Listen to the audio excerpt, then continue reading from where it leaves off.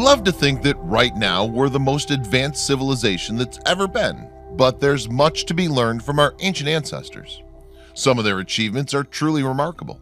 We need to open our minds and accept that there have existed on the earth civilizations with technology that, while different from our own, and in some areas possibly not as advanced, had developed some engineering techniques that are as great or even greater. Fortunately, the ancient books in India's Rama Empire have been preserved, unlike those of China, Egypt, Central America, and Peru. Many of these ancient nations are now either desert wastelands, swallowed by thick jungle, or literally at the bottom of some ocean. Yet India, despite devastation by wars and invasion, managed to maintain a large part of its ancient history. For a long time, Indian civilization was not believed to date from much earlier than about 500 BC, only about 200 years prior to Alexander the Great's invasion of the subcontinent. In the past century, however, the extremely sophisticated cities of Mohenjo-Daro and Harappa have been discovered in the Indus Valley of modern-day Pakistan. The discoveries of these cities forced archaeologists to push the dates for the origin of Indian civilization back a thousand years. A wonder to modern-day researchers, the cities were highly developed and caused leading archaeologists to believe that they were conceived before they were built, a remarkable early example of city planning. Even more remarkable is that the plumbing sewage system throughout the large city is superior to that found in Pakistan, India, and most Asian countries today. So what do we know about ancient Indian technology? There are many stories of flying vehicles coming from ancient Indian sources, written texts that have come down to us through the centuries. There's no doubt that most of these texts are authentic. Many of them are well-known ancient Indian epics themselves, and there are literally hundreds of them. The Indian Emperor Ashoka started a secret society of the Nine Unknown Men, great Indian scientists who were supposed to catalog the many sciences. Ashoka kept their work secret because he was afraid that the advanced science cataloged by these men, culled from ancient Indian sources, would be used for the bad purpose of war, which Ashoka was strongly against, having converted to Buddhism after defeating a rival army in a bloody battle. The Nine Unknown Men wrote a total of nine books, presumably one each. Book number one was The Secrets of Gravitation. This book, known to historians, it dealt chiefly with gravity control.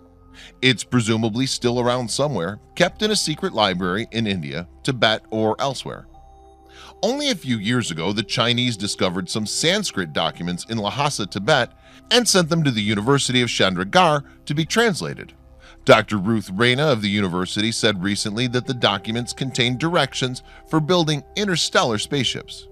Their method of propulsion, she said, was anti-gravitational and was based upon a system analogous to that of Lajima, the unknown power of the ego existing in man's physiological makeup. A centrifugal force strong enough to counteract all gravitational pull. According to Hindu yogis, it is this Lajima which enables a person to levitate.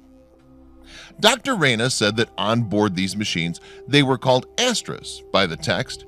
The ancient Indians could have sent a detachment of men onto any planet, according to the document, which is thought to be thousands of years old. The manuscripts were also said to reveal the secret of Antima, the cap of invisibility, and Garima, how to become as heavy as a mountain of lead. It's said that at the time of Atlantis and Rama, the Mediterranean was a large and fertile valley. This ancient civilization, predating dynastic Egypt, was also known as the Osirian civilization.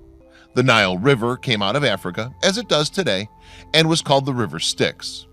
However, instead of flowing into the Mediterranean Sea at the Nile Delta in northern Egypt, it continued into the valley and then turned westward to flow into the deepest part of the Mediterranean Valley, where it created a large lake and then flowed out between Malta and Sicily, and south of Sardinia into the Atlantic at Gibraltar, the Pillars of Hercules. When Atlantis was destroyed in a cataclysmic upheaval, this cataclysmic change in the Atlantic slowly flooded the Mediterranean basin, destroying the Osirians' great cities and forcing them to move to higher ground. This theory helps explain the strange megalithic remains found throughout the Mediterranean.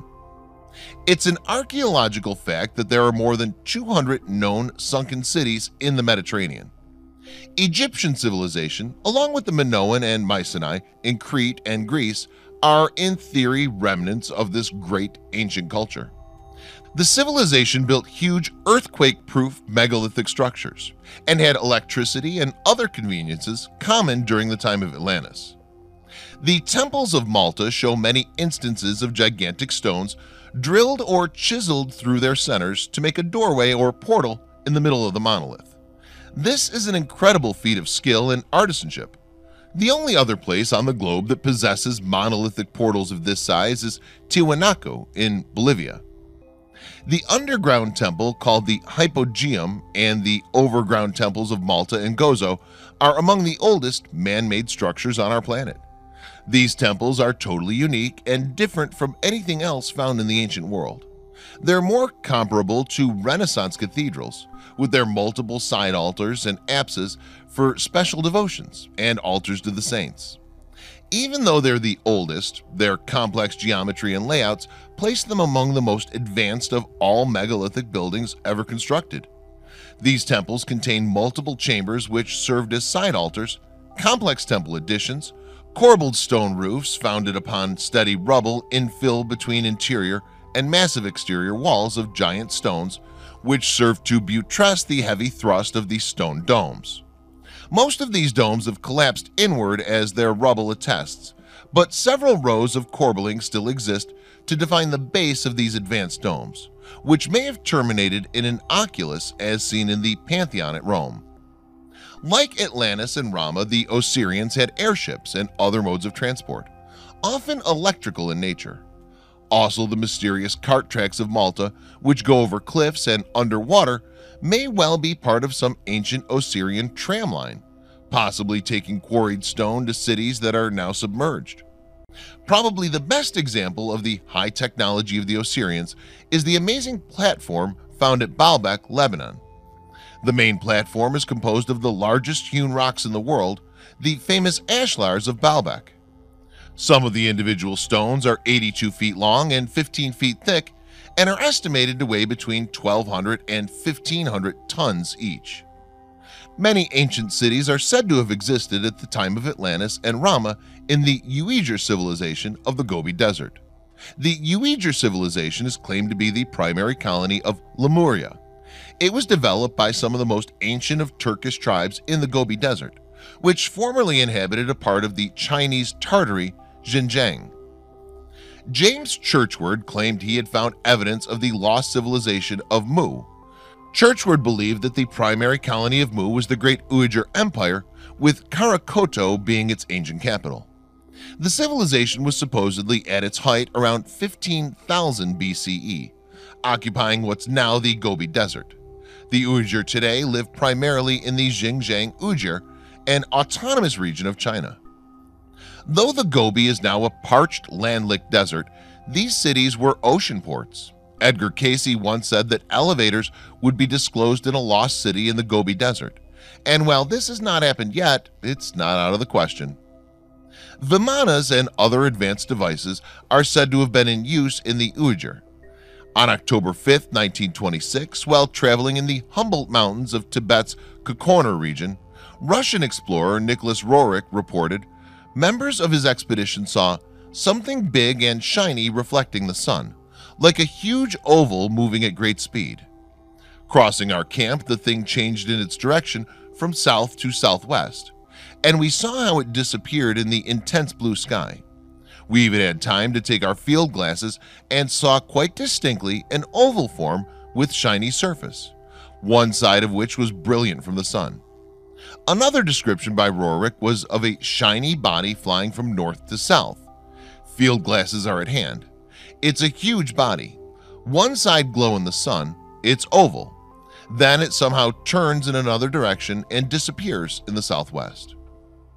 Perhaps the craft was an ancient Vimana coming from a still active city using Uyghur technology that exists in northern Tibet or the Gobi Desert.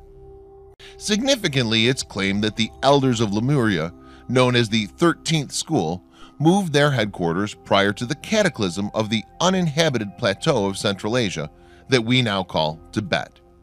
Here they supposedly established a library and school known as the Great White Brotherhood.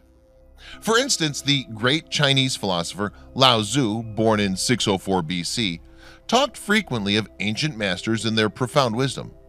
He wrote the famous book Tao Te Ching, probably the most popular book ever written in Chinese. When he finally left China near the close of his very long life, he journeyed to the west of the legendary land of Si Wang Mu. According to ancient Chinese, this was the headquarters of the Ancient Ones. Could this have been the Great White Brotherhood and the 13th Stone of Mu? As in Mu and Atlantis, construction in South America was on megalithic scale, with polygonal construction techniques designed to make the massive walls earthquake-proof. Earthquake-resistant walls were important all around the Ring of Fire, ancient Mu. Homes and communal buildings were built out of megalithic blocks of stone. Because of the high regard the culture had for the well-being of future generations and the value they placed upon the gradual, sustained growth of the community, structures were built to last for thousands of years. A house built of cement, wood, and plaster wall will last hundred years or so, if kept up. Witness the megalithic construction of Egypt, Malta, Peru. These buildings are still standing today.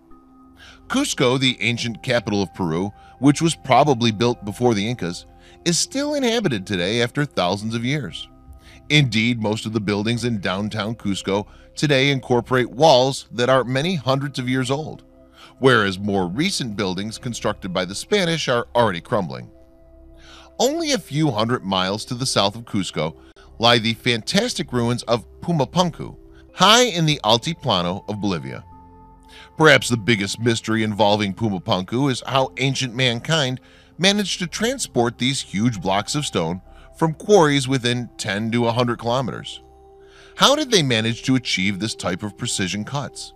And how did they place the blocks in such a perfect manner? Engineers and constructors around the world today cannot answer nor replicate these achievements done by ancient mankind thousands of years ago. Archaeologists cannot conclude and answer how were these amazing blocks of stone transported. Some of them believe that it was accomplished by the large labor of force of ancient Tiwanaku. Several theories have been proposed as to how this labor force transported the stones from the quarries to Pumapunku, but these theories remain speculative.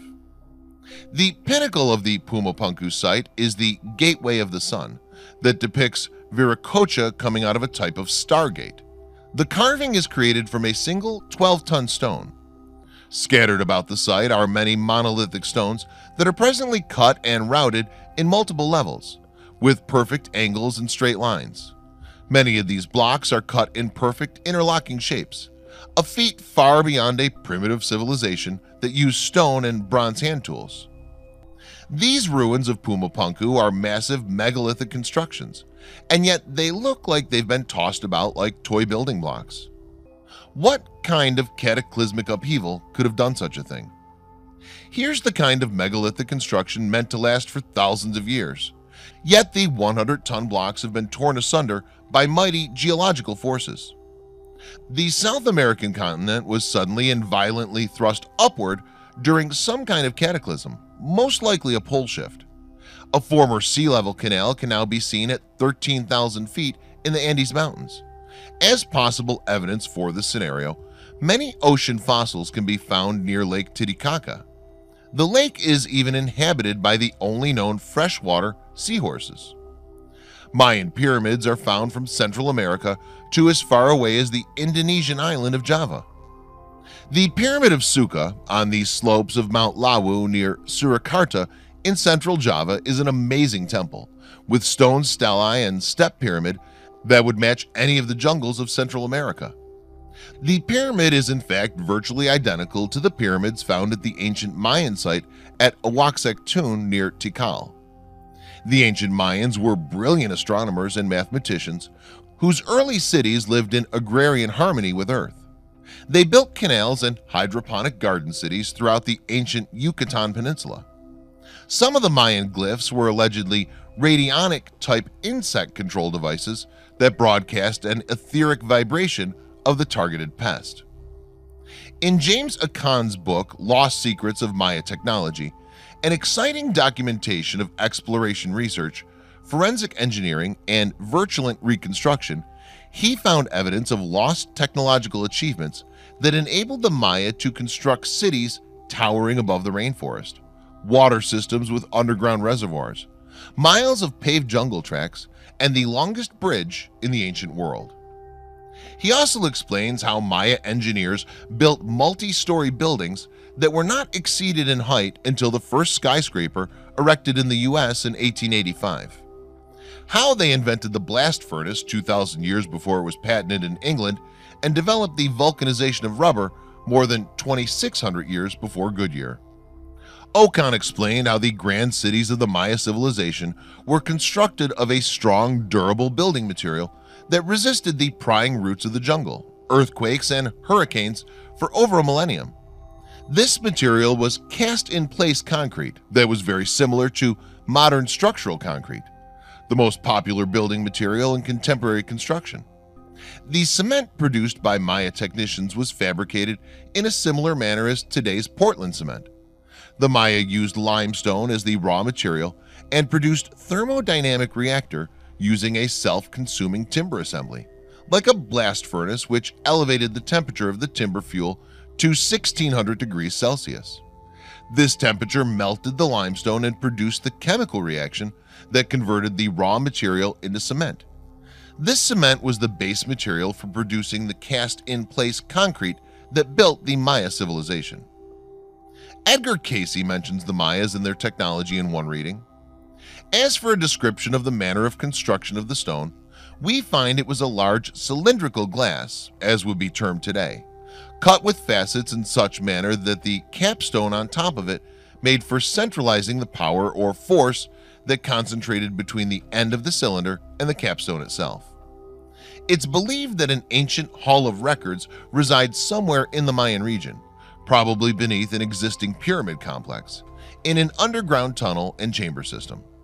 Some sources say this repository of ancient knowledge is kept in quartz crystals, that are of exceptional quality and capable of holding large amounts of information in the similar manner as a modern CD. Ancient China, known as Han China, is said to have come, like all civilizations, from the huge Pacific continent Mu. The ancient Chinese are known for their sky chariots, their geomancy, and the jade manufacture that they shared with the Mayas. Indeed, the ancient histories of the Chinese and Mayas seems indelibly linked. Anthropologist makes a good case for a Taoist influence coming to Central America by showing Shang dynasty symbols and motifs. The yin yang is the most famous, but there are many more, and then relating them to known Mayan art and sculpture. Jade was of particular importance to the Shang Chinese.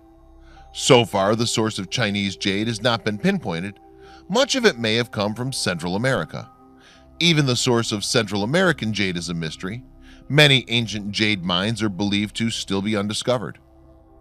Anthropologists suggest that Chinese voyages to Mexico between 500 and 300 BC may have been related to Taoist trade the secrets of longevity. The ancient Chinese are often said to be the originators of every invention from toilet paper, earthquake detectors, paper money, cannons, rocket technology, printing methods, and thousands of other clever and high-tech items. In 1959, archaeologists in China discovered belt buckles made out of aluminum thousands of years ago. Aluminum is generally processed with bauxite and electricity.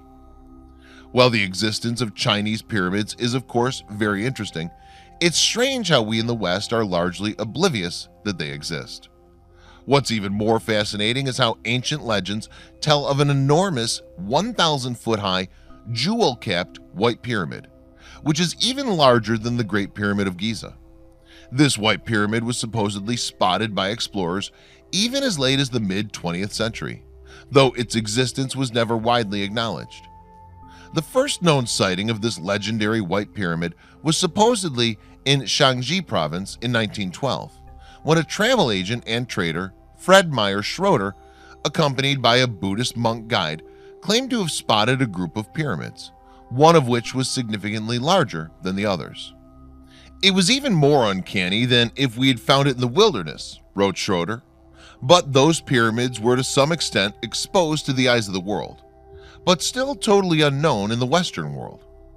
Schroeder estimated the pyramid to be a thousand feet high, with 1,640 foot long sides, making it much larger than the Great Pyramid in Egypt, which is only 450 feet high.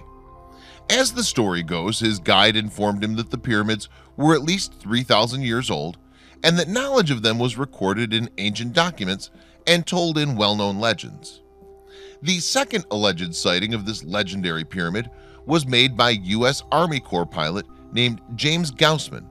He was flying from China to Assam, India in the spring of 1945 when he reportedly saw a huge white jewel-capped pyramid in the southwest of Xi'an. I flew around a mountain and then we came to a valley. Directly below us was a gigantic white pyramid. It looked as if it were from a fairy tale.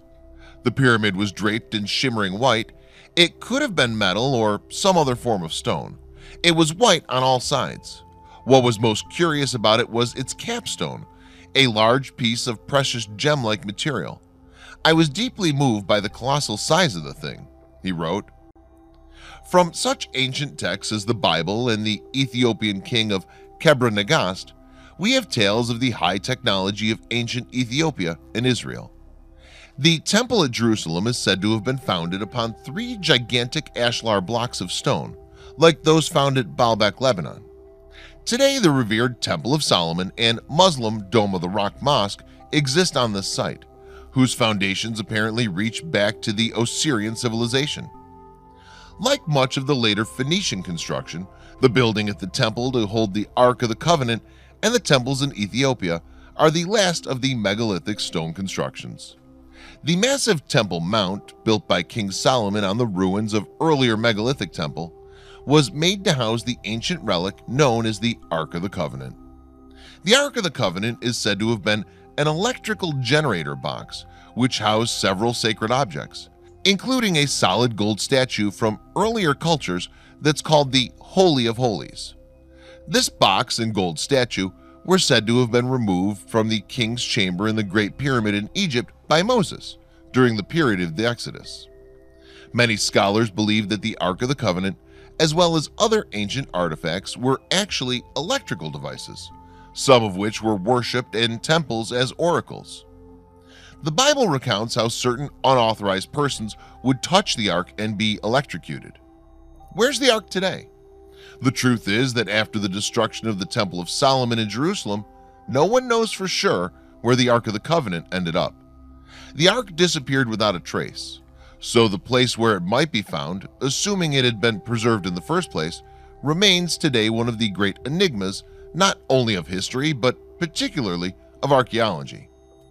But what is certain is that almost 45 million Ethiopian Orthodox Christians are convinced that the Ark of the Covenant was taken about 3,000 years ago to Axum in northern Ethiopia. While there's no solid historical evidence, the circumstantial evidence is compelling. The island of Tana Kirkos is still home to devout monks who are certain the Ark was there for centuries and openly display relics which apparently came with the ark from Solomon's temple. There are also traces of what seems to have been a tabernacle, that is, a shrine erected to house the ark. Then there's the issue of the immense pride and seriousness around the chapel in Axum, where the ark is said to reside. Only one man, the so-called guardian, can lay eyes on the ark, and he is in fact forbidden from ever leaving the chapel grounds. He will worship at the ark until his dying day, at which point his successor, named by him, will take up the mantle. The sheer severity of this task and the generations of devoted guardians who have given their lives over to the calling implies that something of huge importance does exist within the chapel. In the words of writer and priest Lionel Fanthorpe, I would not be in the least surprised if at some future date those with expert scientific knowledge to say yay or nay would find that the ark in Axum is the one from Solomon's temple. According to various esoteric sources, the first civilization arose 78,000 years ago on the giant continent known as Mu or Lemuria and lasted for an astonishing 52,000 years. It's sometimes said to have been destroyed in earthquakes generated by a pole shift which occurred some 26,000 years ago, at approximately 24,000 BCE. While Mu did not reach as high a technology supposedly as other later civilizations, it is nevertheless said to have attained some advanced technology, particularly in the building of long-lasting megalithic buildings that were able to withstand earthquakes.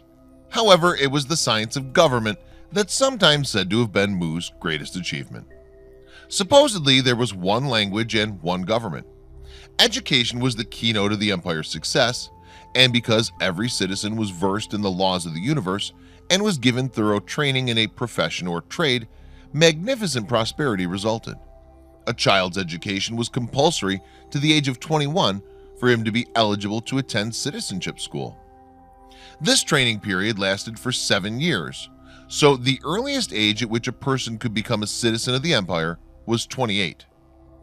James Churchward, in books such as The Lost Continent of Mu, 1931, wrote that the motherland stretched from the Hawaiian Islands to Fiji and from Easter Island to the Marianas. Churchward considered the Nan Madol site on Pohnpei Island one of the seven sacred cities of Mu. Today its ruins sit on a swampy lagoon filled with mangrove trees. Rising about 30 feet in height, black volcanic stones weighing many tons are stacked crisscrossed like a child's frontier fort. It's one of the more enigmatic sites in the entire Pacific, yet archaeologists cannot explain how it got there. Indeed, stone monuments of mysterious origin dot the entire Pacific, from Japan's spectacular underwater site at Yonaguni to cryptic petroglyphs on Hawaii's Big Islands. Menehune Ditch on Kauai is built from dressed and fitted stone slabs like something ancient Romans would have erected, very different from typical Polynesian style. And of course there's Easter Island, centerpiece of many Lemuria theories. Its hundreds of colossal stone statues and written language point to an advanced culture, yet it appeared on the world's most remote spot. Why? The legends of Easter Island speak of Hiva, which sank beneath the waves as people fled, while Samoans called a similar place Bolotku. It was stocked with trees and plants bearing fruits and flowers, which were immediately replaced when picked. On Boludo, men could walk through trees, houses, and other physical objects without any resistance. The Maoris of New Zealand still talk about arriving long ago from a sinking island called Hawaiki, a vast and mountainous place on the other side of the water. There's yet another puzzling piece of evidence. A map of the Lost Continent, published by the Lemurian Fellowship, corresponds almost exactly to boundaries of the Pacific Plate. But the map first appeared long before geologists even knew of the plate's existence. Their detailed map places the capital just north of present-day Maui, near the center of a vast continent stretching from Australia to the Rocky Mountains. It's said that when the continent of Mu sank, the oceans of the world lowered drastically as water rushed into the newly formed Pacific Basin. The relatively small islands which had existed in the Atlantic during the time of the Lemurian civilization were left high and dry by the receding ocean. The newly emerged land joined the Poseid archipelago of the Atlantic Ocean to form a small continent. This continent is called Atlantis by historians today, though its real name was Poseid. Atlantis is believed to have taken technology to very advanced stages, well beyond what exists on our planet today. In the book A Dweller on Two Planets, first dictated in 1884 by Phylos the Tibetan to a young Californian named Frederick Spencer Oliver, as well as in a 1940 sequel, An Earth Dweller Returns, there is mention of such inventions and devices, such as air conditioners to overcome deadly and noxious vapors, airless cylinder lamps, tubes of crystal illuminated by the night side of forces, electric rifles, guns employing electricity as a propulsive force. Railguns are similar and a very new invention.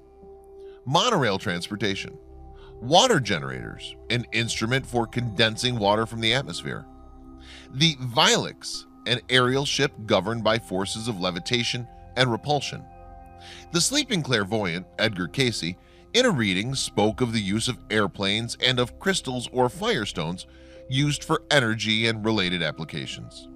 He also speaks of the misuse of power and warnings of destruction to come. If we take for granted that Atlantis did exist and that humanity originated from there, what does that mean for us? It throws a wrench into the mechanics of various religions for starters by questioning their myths, but at the same time supporting the Great Flood myth. It changes how we look at other ancient societies, knowing that they had possibly originated from Atlantis and then somehow lost or forgot their technology.